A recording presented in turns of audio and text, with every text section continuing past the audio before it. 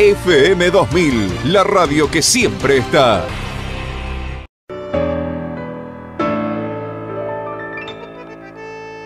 ¿Por qué te quiero tanto? Cuando me alejo unos días nada más, sueño en volver a tus aromas de jazmín, me entrego a vos, patria mía, como Argentina no habrá otra. Bueno, eh, con cuatro estaciones de Carmen Giorgetti, que tiene todo lo que usted necesita, como siempre, la mejor calidad, las telas que a vos se te ocurran. Carmen Giorgetti, hoy eh, en cuatro estaciones, auspiciando esta nota color. Yo le escucho a Sonia Farrell cantar y es eh, hace muy poquitos días, muy pocos días, era una semana, justamente le pedí a Maxi algunos temas de Sonia, porque me encanta cómo canta esta mujer que la conozco de hace mucho tiempo y siempre es un gusto hablar con ella, ¿no? Eh, así que la nota color hoy con Sonia Farrell. Canto recorriendo mi país, tu paisaje imponente del norte. Hola Sonia, ¿cómo estás? Buen día. Hola, hola, buen día Mateo. Hola gente linda de la FM 2000 que siempre escucho eh, tus notas color. Ah, bueno. Me alegro mucho, me alegro mucho y vos sabés que siempre decimos lo mismo, ¿no? Eh, estamos tan cerca y tan lejos, porque, bueno, las actividades de uno, la actividad del otro, por ahí pasa, pero siempre no, no, no, nos estamos, yo también te sigo mucho, este, cuando haces tus actuaciones, eh, bueno, sé que tenés tus eh, parientes aquí en Hernando también, así que es lindo, Sonia, es lindo saber que, que seguís vigente, que es lo más importante. Sí, sí, sí, que no es poco en estos tiempos, eh, más aún en mi género. y bueno, a ver, y no te creas, mira, yo creo que el tango eh, no va a morir jamás. Eh, lo que pasa que por ahí pueden ser un poco... A mí me parece que el tango sigue teniendo un lugar preponderante en la sociedad. Eh, por ahí a lo mejor no serán esos festivales masivos, pero por ejemplo en La Falda se junta muchísima gente cuando se hace la fiesta nacional del tango, ¿no? O sea... Sí, sí, sí, ahí eh, tuve la dicha en el 2017 de participar de ese gran festival y cantando nada más y nada menos que la noche de mujeres que estaba la Gata Varela, Elena Rogers y la Sonia Farrell. No, qué lindo, qué lindo, qué lindo, qué lindo roce, ¿eh? Qué lindo roce, qué lindo. Sí, eso, eso fue para mí en mi carrera, si me preguntas, creo que fue lo máximo. Mira. Más allá que he estado en otros países cantando, pero eh, porque para nosotros, para Argentina, es uno de los festivales más importantes. Claro, para la provincia, para mi Córdoba querida, imagínate. Y Sonia, y, qué devolución tuviste de la gata? y eh, Bueno, muy buena gente. O sea, estuvimos ahí porque para el festival, en ese momento yo fui con Raúl Parentela, el maestro que ya nos abandonó de este mundo. Qué lástima. Eh, que fue el que hizo la música de mi disco. Así que fuimos juntos y nos dieron la posibilidad de estar los tres días del festival Así mm. que todos los artistas alojados en el mismo hotel. Mira. Así que bueno, ahí fue poder compartir con todos. con Raúl Lavie, con toda la gente que pasó por el festival. Qué bueno. Así que bueno, eh, Elena Rogers y Piazzolla hijo, de gente re sencillísima, o sea, maravillosa, la verdad. Y bueno, y con la gata, todo excelente, somos medio ahí de, en cuanto a carácter, tenemos yo un cumpleaños mañana, Mateo. Oh, y, la gata, y la gata, sí, y ella los cumple el domingo. Ah, mira. Así que sí, tenemos muchas cosas en común. Son del mismo signo. este y, y la verdad que, así que mañana cumplí los años. Bueno, este mañana no. así que este es mi regalo de cumpleaños eh, adelantado. Bueno, poder estar claro. con vos. Qué lindo, qué lindo, qué lindo saber. Eh, Piazzola hijo, vos sabés que Piazzola hijo eh, no tiene mucha prensa, ¿no? Pero es un es, ¿qué, heredó de su papá? No, es un musicazo y aparte de cuenta con Elena Rogers. Claro. Ellos están haciendo unos trabajos espectaculares dando vuelta por el mundo. Mira. Así que sí, es una obra maravillosa la de ellos. Mira, Eh, mira. Quien pudiera andar cantando ahí. Claro, lo que pasa es que eh, Piazzolla padre lo eclipsa, a lo mejor un poco, ¿no? Pero, pero no, sí, sí, o sea, lo sé, más vale que lo, lo, lo, lo han nombrado, lo siento nombrar siempre, pero digo, bueno, lo que fue Astor, este, debe ser difícil ponerse al lado de ese, de ese semejante monstruo, ¿no? Y este muchacho toca bandoneón también, Él toca el piano, piano, ajá, piano. sí. Eh, Sonia, eh, las notas color nuestras siempre arrancan por, eh, por el pri- por cuando uno empezó con esto, cuando eras chica. ¿Ya cantabas cuando eras chiquita, cuando te ibas a la escuela? Ay, sí, qué lindo. Yo, mira, siempre digo, era muy niña cuando yo decía que yo cuando sea grande voy a ser cantante porque Ah, mira, mira vos. rec- recuerdo que la radio en mi casa estaba en la mesada de la cocina Sí, y a mí mi cabeza me llegaría al filo de la mesada. mira. Así que para poder cambiar el dial hacía todos unos vericuetos Claro, para subir claro. y treparme. Mira. Y desde ese, o sea, desde ahí yo recuerdo que me gustaba y yo siempre soñaba cuando sea grande, cuando sea grande.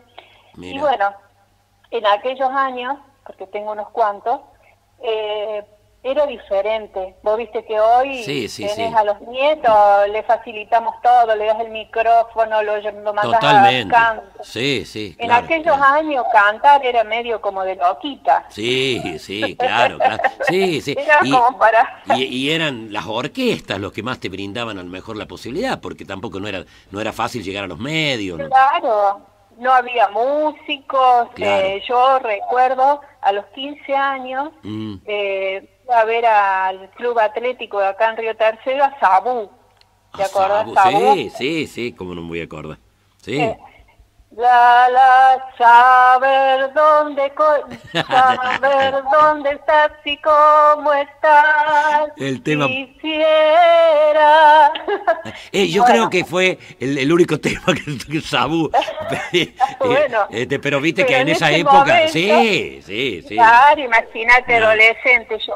Y- me acuerdo que en ese tiempo, como no dejaban mucho salir a nosotros, las madres, los padres, Ajá. nos íbamos al baile, éramos en el club, las chicas que hacíamos el club de eh, la comisión de damas, Apa. que nos ponían a limpiar todas las sillas. Claro, claro, obviamente. 15 años, ¿te imaginas? Era- claro, era la manera de estar cerca de los artistas. Y sí. Y en claro. esa oportunidad eh, viene Sabu con un tal Ramiro que también cantaba, pero no tenía el cartel que tenía Sabu. Claro. Y me pongo a cantar con él Apa. detrás de bambalinas ahí. Mira, Sí. mira. Entonces me escucha el productor de Sabu Ajá. me da una tarjeta que no la voy a olvidar nunca, la Mira. guardé, no sé, 40 años. Mira, mira. donde él me dice, decile a tu papá que me llame, porque vos tenés futuro. Ajá. No, ¿qué le iba? Mira si yo le iba a contar a mi papá que un hombre me había dado una tarjeta para que Claro, vaya a Buenos Aires. Claro. Era claro. como, era Sí. pecado para mí. Claro, claro, claro, claro, claro. ¿A dónde Porque anduviste? tenía- Chi- chinita Claro. Claro. Sí, ojo con andar hablando por Claro, ahí con claro. algunos, Sí, subirte a sí. un auto, Sí, sí, sí, sí. mamita. Sí, sí. Claro. Así que bueno, eso quedó. Y bueno, a los 18 años me caso. Pone música de terror. Completita la cosa. Era rebelde la nena.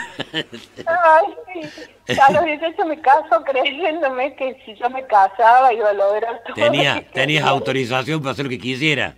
Claro. Después no tenía, no saltito. tenías a tu papá, tenía a tu marido. Claro, era peor todavía. Claro, claro, obviamente. Así obvio. que bueno, Oh. pero el sueño daba vuelta, Mateo, daba Qué vuelta. Me lindo. casé con un carnicero, Ajá. así que tenía en el salón donde estaba la carnicería, tenía una acústica impresionante.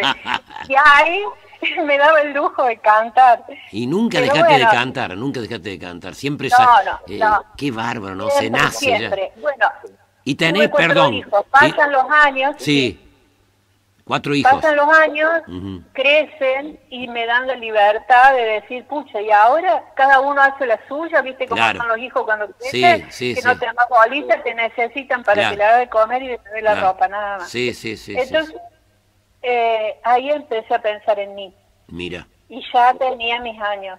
Pero bueno, fui a una juntada de tangueros en Ajá, Córdoba Ajá. Y ahí el bandoneonista, el maestro Pivato, me, me invita a cantar. Yo en ese momento, la verdad, sinceramente, no tenía ningún tango. O sea, Claro. conocía varios, como conocemos muchos, que yo, uno busca lleno de esperanza, pedacitos. Sí, sí. Y fue ahí que me preocupé por aprender realmente un tango y ya íbamos a un lugar, eh, un bar, y ahí nos juntábamos y bueno, yo cantaba, el maestro tocaba el bandoneón, yo cantaba, Mira. me acuerdo, empecé con Milonga Sentimental. Uy, qué tangas.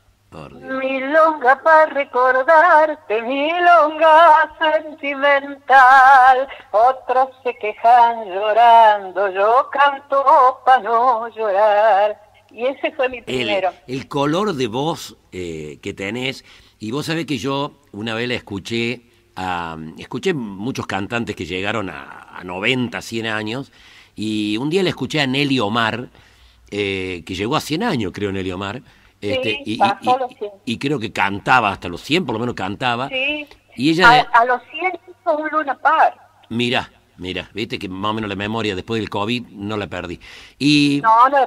y me decía, eh, decía ella, que la única, el único órgano que no envejece es la garganta, eh, si la sabemos cuidar, obviamente, ¿no? Sí, sí, sí, Eh, sí. Y uno mantiene el timbre de voz, mantiene la tonalidad, mantiene el, el- color de la voz, si uno se ha cuidado, si no ha sido un fumador empedernido, lógicamente, si se ha cuidado, eh, pareciera que la voz eh, es la misma, no sé si vos lo notás cuando cantás hoy a cuando tenías 18 años. La, la voz no cambia. Sí, sí. Al contrario, uno aprende, eh, aprende, si, si vas a, estudiar canto, un montón de cosas, se puede perfeccionar, pero digo, la voz ya viene con nosotros, ¿no? Sí, totalmente, totalmente. Bueno, eso de cuidarla es verdad. ¿Y Eh, tenés algún muchas- pariente, alguna tía, alguna abuela, algún familiar que cantaba? Sí, Ah, yo tenía ah. mi bisabuela ¿Viste vos? Sí. que cantaba una, una nonna italiana Mira, mira, que cantaba lírico. Y yo amo el lírico, Claro, vos sabés, que sería para mí una materia pendiente el lírico. Y tenés una Porque voz que te da, ¿eh? mi- Te da la voz. Sí, tengo, tomé clases con Cacho Jaime, que tampoco ya está más en este mundo. Ah. Eh, Cacho Jaime fue el maestro de Jorge Rojas. Ah, la mira, vida, o sea, mira, mira, mira, mira. Él, él siempre me dijo, Sonia, vos sos eh, soprano dramática, Mira. que no, no hay mucho, La- porque la la, bisabuela. soprano dramática te hace el agudo como que te hace el bajo. La bisabuela, la bisabuela. ópera, la La bisabuela. Qué increíble, Sonia. Vos sabés que siempre cuando hago nota color le pregunto a los cantantes principalmente si hay alguien en la familia, ¿no?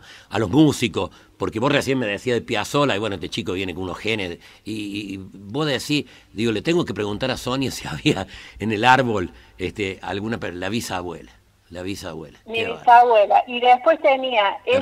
te- te regaló la voz. Sí, ella me regaló Y la el, voz. y el don, Y- y el don, y el don de cantar, ¿no? Porque don. con la voz sola no se hace nada. No, es verdad. Y el, un, un nieto de ella, eh, que vivía en Buenos Aires, eh, cantaba tango, Luis Mira. Marcetti. Ajá. Era un ah. cantor de tango de Mira, aquello. mira, la, la, la bisabuela dejó, dejó los genes. Qué bárbaro. Qué cosa tan... y, eh, A mí me apasiona Eh, eso. sí, sí, y voy a decir yo, por ejemplo, con el tango, ¿cómo termino? Porque, ¿Por qué tango? Porque a mí Bueno, me gustaba toda la Eh, música mi pre- moderna. mirá, vos sabés que era mi, mi próxima pregunta. eh, ¿Por qué tango? Porque, claro, porque vos lo fuiste a ver a Sabú y estoy seguro que esa noche cantaste los temas, de, recién me lo cantaste, el tema de Sabú, seguramente te gustaba Claro. lo melódico. Y de pronto, ¿por qué el tango, no?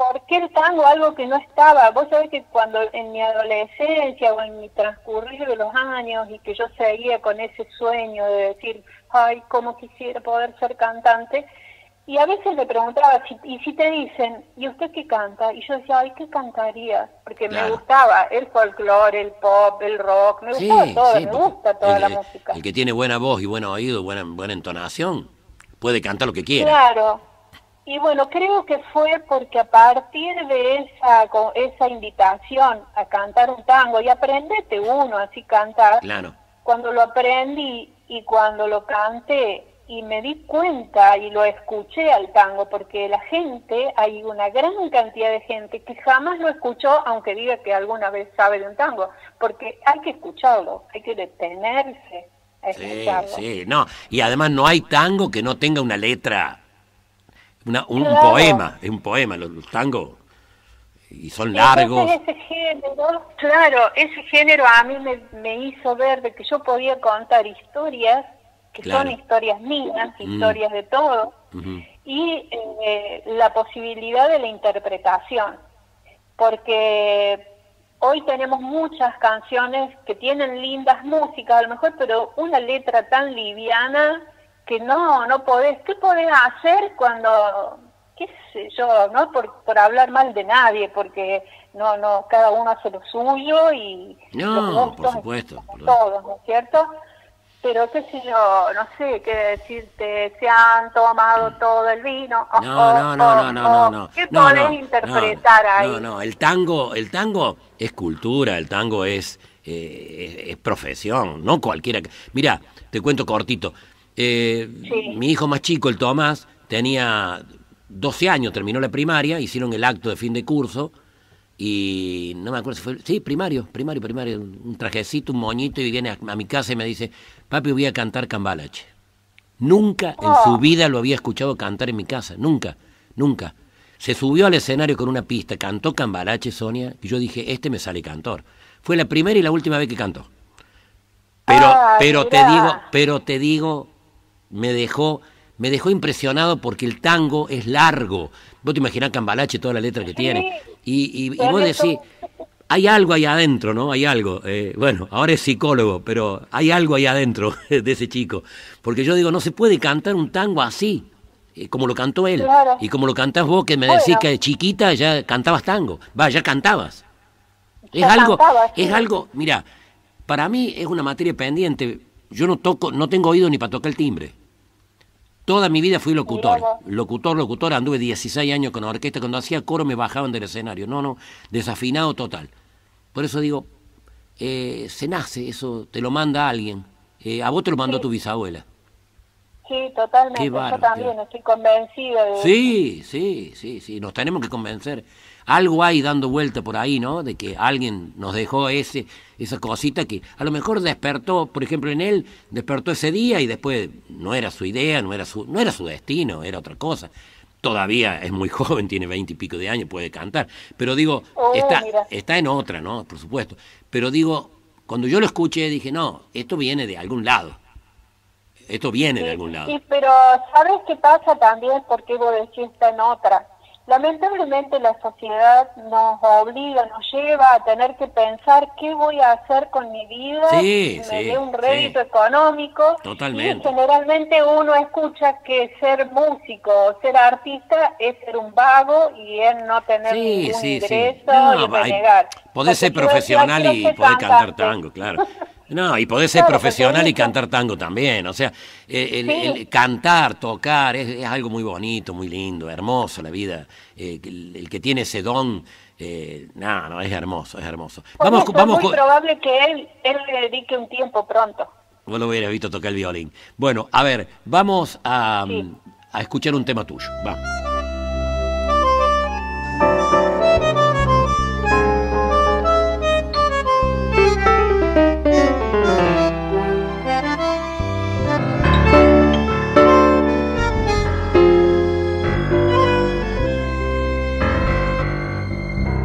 Era más blanda que el agua, que el agua blanda, era más fresca que el río, naranjo en flor, y en esas calles de estío,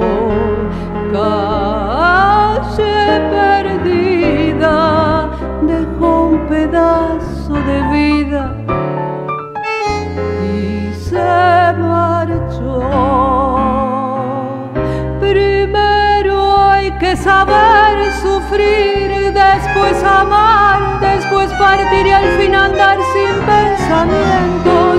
Perfume de naranjo en flor, promesas vanas de un amor que se escaparon en el viento. Después, ¿qué importa del después? Toda mi vida es el ayer que me detiene en el pasado. Eterna y vieja juventud que me ha dejado acobardada como un pájaro sin luz. ¿Nunca te propusieron, Sonia, algún reality, Tinelli, La Voz Argentina? Porque tenés todas las condiciones de participar. Todas. Todas. No, nunca me presenté. Claro, sí, sí. Hay que ir a los castings, sí, sí. Eh, sí, y qué sé yo, Jo, mira. pero no, yo no digo sé, que- a veces. Yo, eh, eh, yo no sé si es, es bueno o es contraproducente sí, sí, no sé, si, no sé si uno es lo que uno quiere. No, pero yo creo que, a ver, primero hay que tener eh, la, la voluntad de ir a los castings y hacer todo eso. Pero por otro lado, eh, no, yo creo que son gustos personales. Vos ya tenés tu carrera hecha, eh, no- Claro. no, necesitas de ningún reality para consagrarte. Yo me refiero que a mí me gustaría que te nombraran en Buenos Aires cantando, Ah. porque, porque sos candidata a ganar. Tenés una voz, Bueno, un, ma- mira, un matiz eh, espectacular. una- Mateo, te, doy, te voy a dar un ejemplo. El Festival de Tango de la Falda para mí fue siempre un sueño. Sí, sí, sí. desde el día cero que empecé a cantar. Y está el certamen de voces para llegar a cantar a la falda, Mm. que se hace en varias subsedes, en Buenos Aires, Sí, en Mendoza, en Córdoba. sí, sí, sí. Bueno, yo siempre dije, he ido a ver a los certámenes cuando se hacen en Córdoba, he ido porque gente amiga participaba. Claro.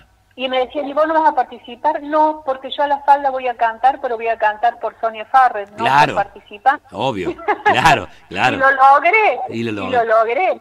Mira vos. Entonces, mira. O sea que a eh, vos te invitaron a cantar en la falda, te invitaron a cantar, te, te- te Sí, contrataron. o sea, fui parte, fui Claro. parte de la grilla de artistas junto con todos los nombres y la noche de cierre, Sí. las mujeres éramos la, Claro. la Farrell, Varela y la y la Elena Rogers. Y Roger. Así que Claro, yo eh, con eso ya, No, mira, ¿qué, te- qué, programa, qué programa de Tinelli ni qué le miércoles. Vos ya, vos ya estás súper consagrada. Lo que quiero lograr, lo, lo siguiente para mí sería eh, el Festival de Peñas de Villa María. Ah, pero eso está, Eso- está, eso es está, está, a la- está al alcance de tu mano eso. Sí, es, es proponérmelo, empezar a buscar la producción, llevarle Sí. material. y, Sí, bueno, inclusive, mira, que... yo tengo algunos contactos con, con la gente de la orquesta estable, ya después te lo voy a tirar. Ah, bien. eh, sí, ahí tengo dos o tres amigos que están en la orquesta estable, que son los que por lo general Ajá. presentan a los artistas, eh, en este caso como el tuyo, pero te digo, vos tenés todas las condiciones para estar en el Festival de Villa María y en el festival que vos quieras, Sonia, por favor. Eh, una persona Bueno, gracias. súper, Te súper, cuento uno importante, un Mm. festival importantísimo. Sí. Río Tercero está hermanado con Carmañola de Italia. Ah, sí, Y había escuchado. En, Carmañola se hace el Festival del Peperone, que Ah. dura una semana de festejos, hay feria callejera y Sí. escenarios como en Cosquín, pongámosle. Sí. El escenario mayor y varios escenarios chicos. Yo estuve convocada, me mandaron pasaje, todo, para cantar en la noche del día viernes, única parada en el escenario, una hora y cuarto, Mateo cantándole a los italianos. Eso fue para mí también algo maravilloso porque lograr No, eh, sí, eh, sí. sensibilizar a los italianos, yo cantando tango y en español, fue algo increíble. Qué lindo. Increíble. qué- ¿En qué parte de Italia está eso? Eh, Peperone, es Peperone, eh, Carmañola está al norte, Al norte. Ah. está cerca de Torino, De a Torino. 20 kilómetros, Mm, sí. Qué linda experiencia. Bueno, la vida te ha regalado ya cosas muy interesantes, seguramente te depara todavía este, un futuro hermoso, sos una gran cantante y por sobre todas las cosas, eh, Sonia, déjame que te lo diga, sos una persona que tiene una humildad única, te conozco de toda la vida, Eh, sé que sos muy humilde y que no te la crees para nada y sos una gran, una gran cantante y vivís en Río Tercero. Eh, lo que pasa que también a veces, mira vos, ¿no? A veces, no sé si vos lo notás, pero a veces el vivir en Hernando, en Río Tercero, vivir en Berrotarano, vivir en... Eh, no es lo mismo que vivir en Buenos Aires, ¿no? Porque parece... porque, porque es así para los artistas principalmente. Muchos artistas se consagran desde el interior y se van a vivir a Buenos Aires. Este, pero... Pero bueno, eh, la vida nos depara a cada uno un camino, vos lo estás recorriendo, todavía tenés para recorrerlo, Así que, bueno, te mando un abrazo grande. Eh, me quedó una duda, Farrell. ¿Por qué Farrell? Sí, porque era el apellido de mi abuela. O sea, cuando tuve que elegir un nombre artístico, eh, puse todos los apellidos que me corresponden de madre y padre, de las cuatro líneas, digamos, y yo soy Sonia Moroni. sí, sí, sí, sí, Moroni. Mi papá. Sí. Eh, pero mi abuela Farrell, eh, y que ella siempre decía, ay Soñita, cuando seas grande vos vas a ser cantante, no, la pasaba cantando. No, no, no, no, no, qué bueno. Sonia Farrell queda mucho más lindo. no, no, por supuesto, pero además es una historia de familia, no es un nombre fantasía. ah, sí, no, no, no, es en honor a mi abuela. Qué lindo. ¿Y esa abuela ¿Era, ¿Era, la que tenía la mamá que cantaba, la soprano? No, la suegra. A la, suegra. Claro, claro. Sí, bueno, ya, ya bien, ya me, estás ya me estás tirando un montón de cantantes en la familia. Bueno, nunca un pico, nunca una pala en esa familia. No, bueno, sí, sí, eh, qué lindo, qué lindo. Yo bueno, soy yo y sabes qué, el Paco Ferranti era mi primo, primo El Paco, sí, sí, claro. Claro, Así que somos los artistas de la familia. Bueno, Sonia, eh, cierro con un tema tuyo, eh, pero te despido, te dejo liberada. Eh, ponete bien rápido y Que, te, que te necesitamos arriba de los escenarios. Bueno, gracias, mil gracias Mateo por llamarme, por tenerme en cuenta. Tu programa es bárbaro. Agradezco a mucha gente de Hernando que me ha dado la oportunidad de estar allá cantando, a la gente de la cooperativa, a Lola Matón que le contaste papá en los 90 años, a la querida Cristina, al Pablo, la Rebeca, bueno, mucha gente querida de allá. Claro, qué hermoso. y a vos en especial. Por favor. Eh, voy a trabajar para un nuevo disco, así que cuando lo tenga te voy a llamar. Por supuesto que sí sí, por supuesto que no sí. No te olvides de, hacerme llegar al escenario de Villa María. No te lo, no te lo prometo, pero lo voy a intentar. No, eh, ya sé. Un abrazo grande eh, y cuídate mucho. Abrazo. Gracias, gracias. Chau, chau. En la ciudad de Rosario se realizó el encuentro de gobernadores de la región, donde se creó la Cámara de Comercio de la región Centro y Vietnam el gobernador Juan Schiaretti, junto a los mandatarios de Santa Fe, Omar Perotti, y de Entre Ríos, Gustavo Bordet, participaron de una reunión en la cual se recibió al presidente legislativo de la República Socialista de Vietnam y a su delegación. El objetivo es profundizar y reforzar el vínculo comercial y de cooperación económica clave para el progreso de la región centro y de Córdoba. Gobierno de la provincia de Córdoba. Entre todos hacemos FM 2000, la radio que siempre está.